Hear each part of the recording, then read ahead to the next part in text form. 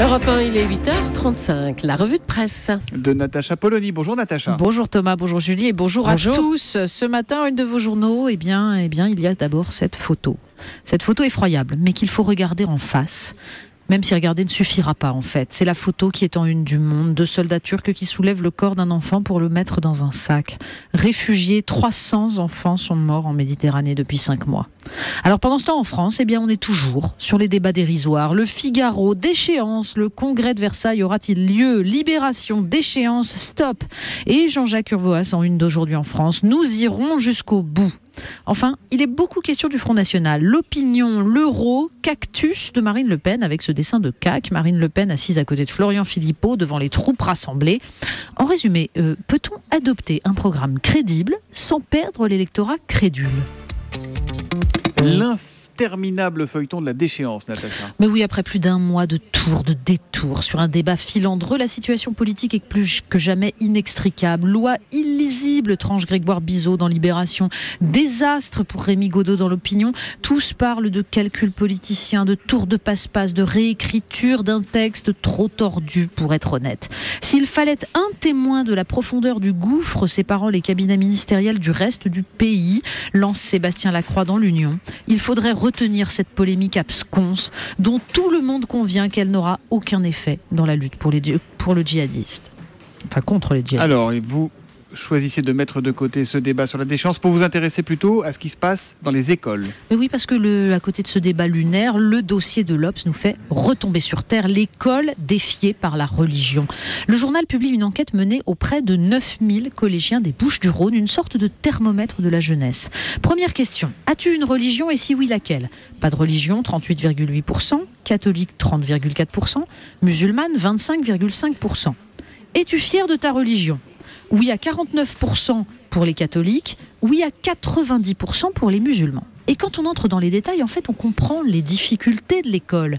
Ceux qui croient que Dieu a créé les espèces vivantes et qui récusent donc la théorie de l'évolution sont 71% parmi les musulmans, 48% parmi les catholiques et seulement 5% parmi les autres.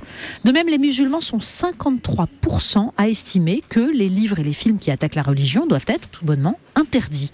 Et ils sont environ 40% à partager l'idée que la femme est faite avant tout pour concevoir des enfants et les élever. Et puis, le sondage se termine par ceci. En cas de conflit entre la loi et la religion, 68% des collégiens musulmans choisissent les principes religieux.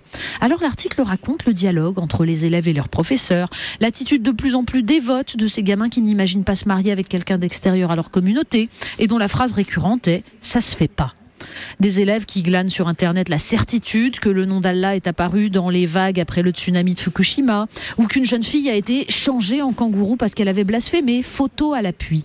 On pourrait se réjouir que l'Obs dresse ce constat, espérer qu'il posera les bases d'une réflexion sur une religiosité devenue obscurantiste et identitaire. Mais on pourrait aussi ressortir les articles parus quand le rapport Aubin en 2004 alertait sur les mêmes phénomènes, stigmatisants, non scientifiques. Et oui, hélas, il ne faut pas voir trop tôt.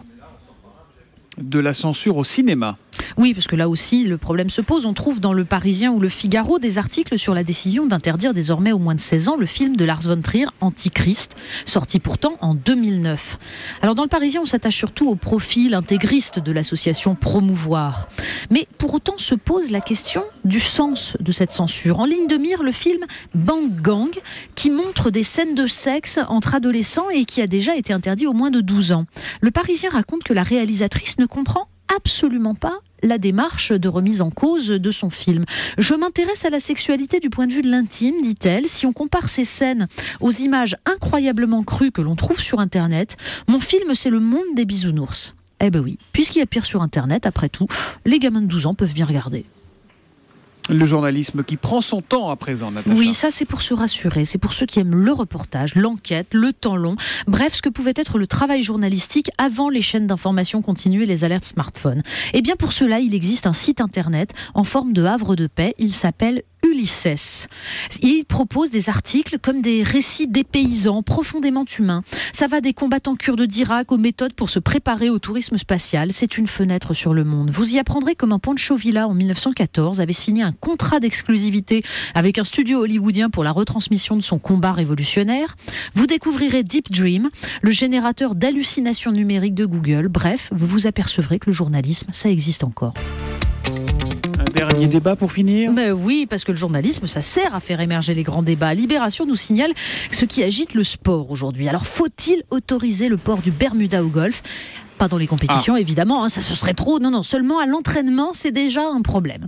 Et enfin, cette question cruciale. Faut-il forcer les fédérations sportives australiennes à faire voyager les femmes en business class comme les sportifs hommes?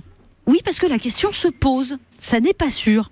Enfin, visiblement, il y a beaucoup de questions qui se posent dans nos écoles, par exemple, et qui risquent de bousculer nos évidences. Les femmes doivent-elles faire du sport finalement ou rester à la maison et faire des enfants?